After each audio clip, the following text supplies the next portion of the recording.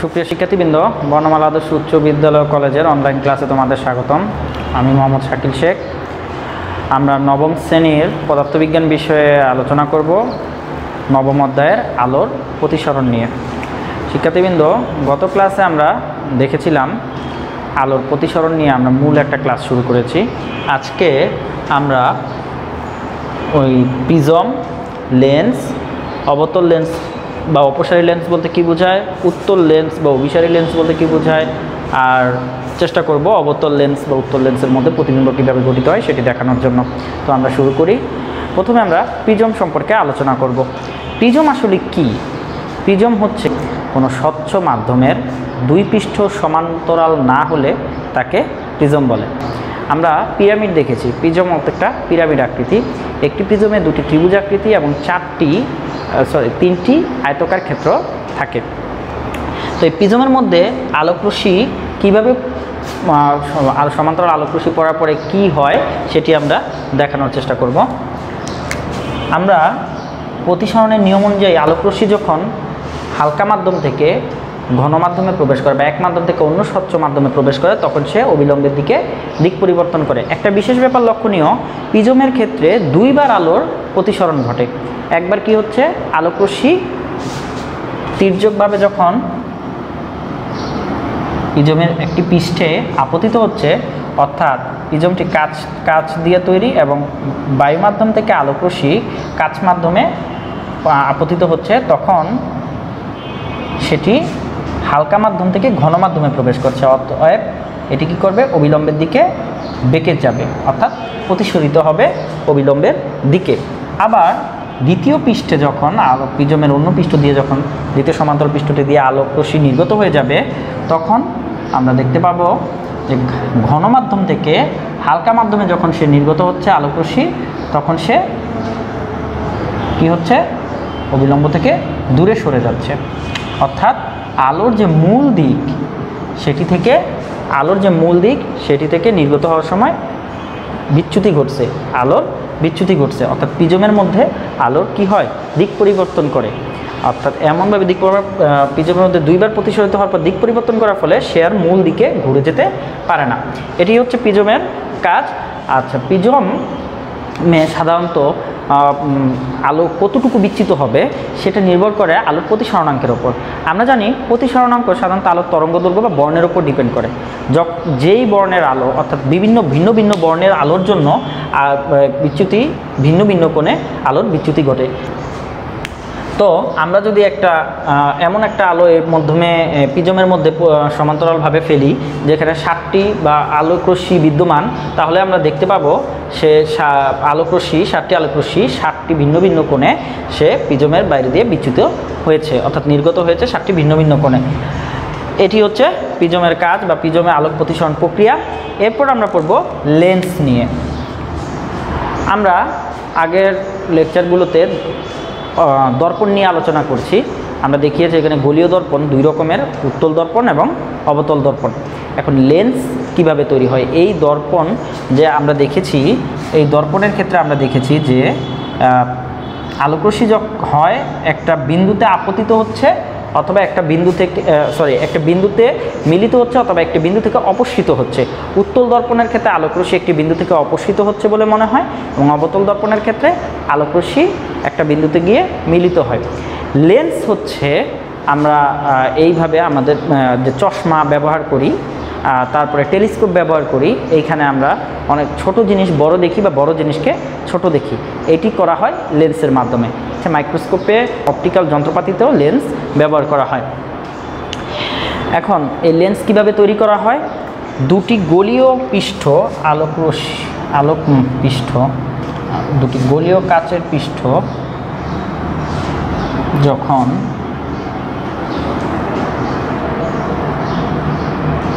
যেমন আমি দুটি কাচের পৃষ্ঠ নিয়েছি, গলীয় কাচ, একটি বক্রতা কেন্দ্র সি ওয়ান এবং সি টু তাদেরকে স্থাপন করেছি আমরা মাঝখানে একটি অংশ দেখতে স্বচ্ছ মাধ্যমের মাধ্যমে তারা একটা সীমাবদ্ধ ক্ষেত্র তৈরি করেছে, এটি হচ্ছে লেন্স। অর্থাৎ লেন্স, আমরা দুটি গলীয় কাচের দ্বারা লেন্স তৈরি করেছি। আমরা দেখতে পাচ্ছি এই লেন্সের প্রান্ত ভাগদ্বয় সরু এবং মধ্যভাগ হচ্ছে মোটা। অথবা যদি দুটি গলীয় কাজকে এভাবে রাখা হয়, তাহলে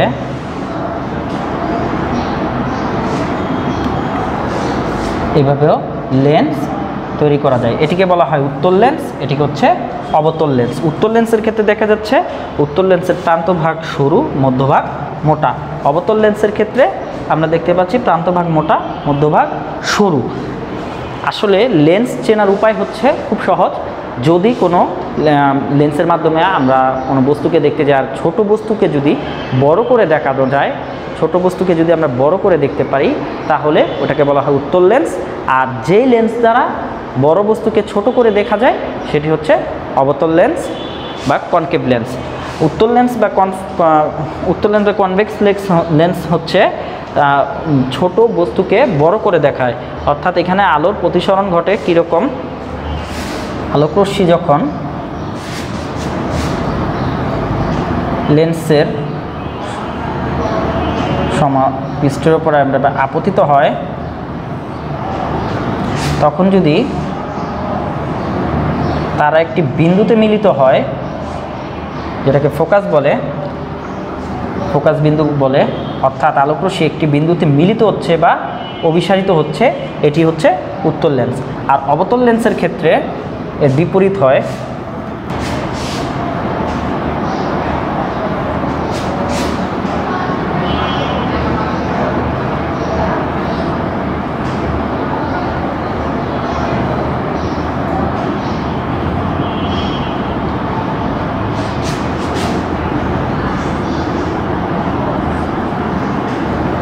অবতল লেন্সের ক্ষেত্রে দেখা যায় তারা একটি বিন্দু থেকে অপসৃত হচ্ছে। এটি হচ্ছে ফোকাস বিন্দু বা এই বিন্দু থেকে আসছে বলে মনে হয়। এখন আমরা উত্তল দর্পণের ক্ষেত্রে যেই প্রতিবিম্ব পেয়েছি উত্তল দর্পণের ক্ষেত্রে যে প্রতিবিম্বগুলো পেয়েছি, সেটি আমরা পাবো অবতল লেন্সের ক্ষেত্রে। এটা হচ্ছে সবচেয়ে মনে রাখার সহজ উপায়। উত্তল দর্পণের ক্ষেত্রে আমরা যেরূপ প্রতিবিম্ব পেয়েছি, সেগুলো আমরা পাবো অবতল লেন্সের ক্ষেত্রে। এবং অবতল দর্পণের জন্য আমরা যেরূপ প্রতিবিম্ব পেয়েছি, সেগুলো আমরা পাবো উত্তল লেন্সের ক্ষেত্রে। তার আগে আমাদের আরেকটু বিষয় পরিষ্কার হওয়া প্রয়োজন, যে লেন্সের মধ্য দিয়ে আলোকরশ্মি যখন প্রতিসরিত হয়, এটা কি কতটুকু কীভাবে প্রতিসরিত হতে পারে? বা এর বিচ্যুতি কীভাবে ঘটবে? আমরা একটু দেখি। যখন কোনো আলোকরশ্মি লেন্সের পৃষ্ঠে আপতিত আমি উত্তর লেন্স নিয়েছি উত্তর লেন্সের পৃষ্ঠে তখন সে সামান্য বিচ্যুতি, অর্থাৎ তার সেই আলোকরশ্মি কিছুটা বিচ্যুতি হয়। লেন্সে যত পুরু হবে আলোর বিচ্যুতি তত বেশি হবে। তো তবে পাতলা লেন্সের ক্ষেত্রে আলোকরশ্মি সরাসরি আপতিত হওয়ার পরে সরাসরি চলে যেতে পারে বলে মনে করা হয়। আলোক লেন্সের ক্ষেত্রে দুই পৃষ্ঠে দুইটি বক্রাকার থাকলেও মোটামুটি মাঝ পৃষ্ঠকে সমান্তরাল বলে বিবেচনা করা যায়। সমান্তরাল এই পৃষ্ঠদ্বয়ের মধ্যে যখন আলো আপতিত হয়, তখন সেটি মূল আলোর দিক থেকে অর্থাৎ মূল আলোর দিক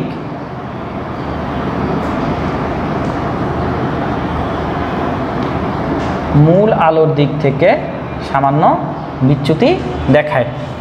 যদি আমি এটাকে কমিয়ে আনি, অর্থাৎ পুরুত্ব যদি কমিয়ে আনি, তাহলে আলোকরশ্মি কোনো দিক পরিবর্তন করে না বলে মনে হয় এবং আলোকরশ্মি যে বিন্দু দিয়ে যায়, অর্থাৎ দিক পরিবর্তন না করে, সেই বিন্দুকে অপটিক্যাল সেন্টার বা আলোক কেন্দ্র বলা হয়। তাহলে পাতলা লেন্সের সঙ্গে অনুযায়ী বলা যায়, যেই আলো, লেন্সের মধ্য দিয়ে আলোকরশ্মি যাওয়ার সময় দিক পরিবর্তন করে না সেটি হচ্ছে পাতলা লেন্স। আমরা এই অধ্যায়ে পাতলা লেন্স নিয়েই আলোচনা করব। এবার আমরা দেখব অবতল লেন্সে কীভাবে প্রতিবিম্ব তৈরি হয়। অবতল লেন্সে আমরা একটি প্রতিবিম্ব দেখাবো। একটি বস্তু থেকে আমরা জানি কোনো বস্তু থেকে যখন প্রতিবিম্ব সৃষ্টি করতে হয়, তখন দুটি কমপক্ষে দুটি আলোকরশ্মি বিবেচনা করতে হয়। অর্থাৎ লক্ষ্যবস্তু থেকে দুটি আলোকরশ্মি বিবেচনা করব। আমরা একটা লক্ষ্যবস্তু এক্স ওয়াই নিলাম এবং আমরা দুটি আলোকরশ্মি বিবেচনা করব, যেটি আমার প্রতিবিম্ব তৈরিতে সহায়তা করবে।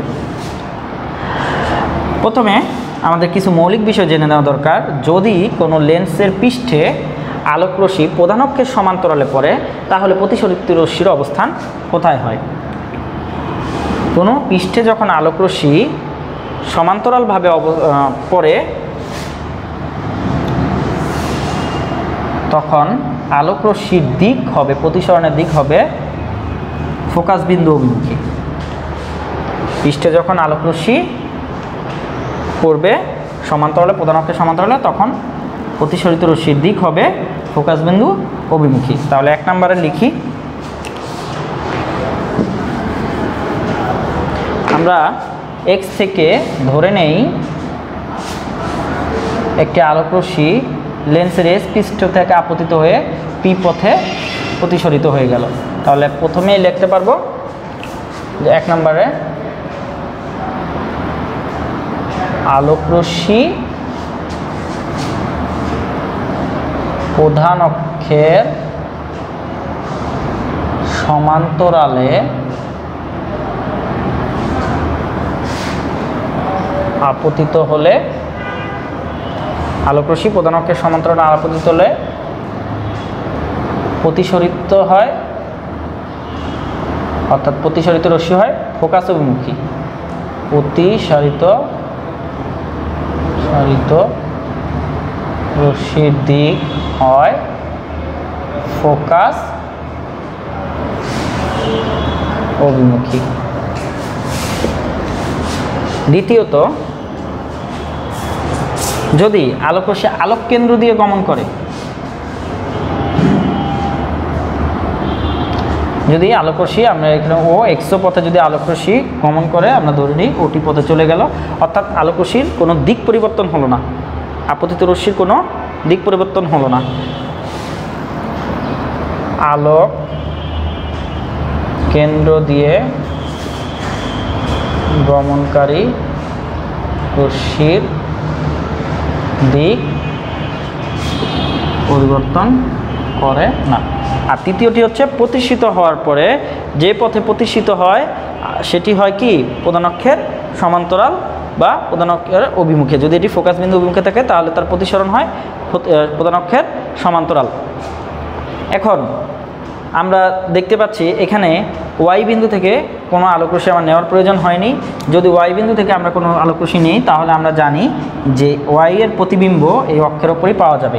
সেক্ষেত্রে আমরা এক্সের প্রতিবিম্ব থেকে একটি লম্ব অঙ্কন করলে আমরা ওয়াই অক্ষের ওপর এক্স ওয়াই এর প্রতিবিম্ব পাবো। আমরা এখানে দুটি বিন্দুকে, অর্থাৎ এস এফ রেখাকে পেছন থেকে বর্ধিত করছি এবং তারা এক্স ড্যাশ বিন্দুতে মিলিত হয়েছে। সেক্ষেত্রে আমাদের এখান থেকে লম্ব অঙ্কন করলে ওয়াই অক্ষের ওপর ওয়াই ড্যাশ লম্ব অঙ্কন করলে আমরা প্রতিবিম্ব পেলাম এক্স ওয়াই। তাহলে আমরা এখান থেকে প্রতিবিম্বের অবস্থান নির্ণয় করতে পারব। প্রতিবিম্বের অবস্থান হচ্ছে আলোক কেন্দ্র এবং ফোকাসের মাঝখানে। আলোক কেন্দ্র ও ফোকাসের মধ্যে।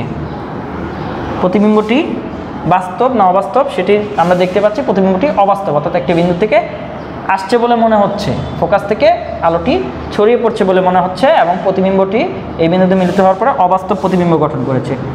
অবাস্তব। তৃতীয়ত হচ্ছে, লক্ষ্যবস্তুর তুলনায় প্রতিবিম্বের আকার হচ্ছে ছোট অর্থাৎ খর্বিত। চতুর্থ হচ্ছে সোজা। প্রতিবিম্বটি সোজা। এই হচ্ছে অবতল লেন্সে প্রতিবিম্ব প্রক্রিয়া। অবতল লেন্সের ক্ষেত্রে আমরা দর্পণের ক্ষেত্রে যেমন এক দিক থেকে কেবল আলো ফেলা যায়, অবতল লেন্সের ক্ষেত্রে কি হচ্ছে? দুই দিক থেকেই আলো ফেলা যায়। তো অবতল দর্পণে সরি অবতল লেন্সে আলোকরশ্মি যখন সমান্তরালে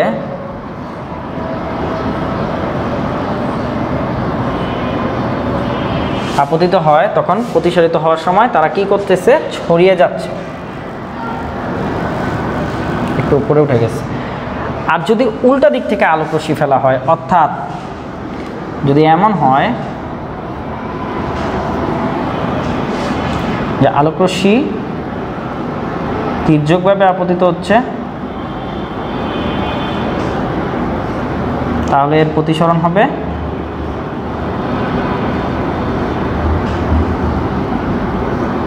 প্রধানক্ষের সমান্তরাল। অর্থাৎ যদি আলোকরশ্মি সমান্তরালে আপতিত হয়, তাহলে সেটি মূলবিন্দু থেকে বা ফোকাস বিন্দু থেকে ছড়িয়ে পড়ছে বলে মনে হচ্ছে। আবার আলোকরশ্মি যদি তির্যকভাবে আপতিত হয়, তাহলে এটি প্রধান অক্ষের সমান্তরালে চলে যাচ্ছে বলে মনে হচ্ছে। তো অবতল লেন্সের ক্ষেত্রে আমরা সবসময় অবাস্তব প্রতিবিম্ব পাব। উত্তর লেন্সের ক্ষেত্রেও আমরা এরকম দেখাবো আমরা আগামী ক্লাসে উত্তর লেন্স বা অভিসারী লেন্সে কীভাবে প্রতিবিম্ব তৈরি হয় সেটি নিয়ে আলোচনা করব। আজকে আমরা কি কি পড়লাম আমরা আরেকবার একটু রিভাইজ করি।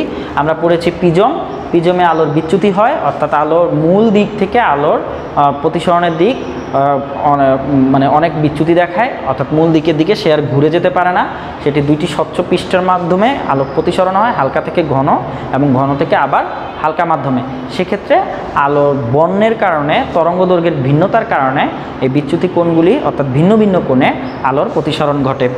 আর এরপরে আছে লেন্সে পড়লাম আমরা, উত্তল এবং অবতল লেন্স। আমরা লেন্স পড়লাম যে, যেই লেন্সের মাধ্যমে ছোট জিনিসকে বড় দেখায়, সেটি হচ্ছে উত্তল লেন্স। আর যে লেন্সের মাধ্যমে বড় জিনিসকে ছোট দেখায়, সেটি হচ্ছে অবতল লেন্স।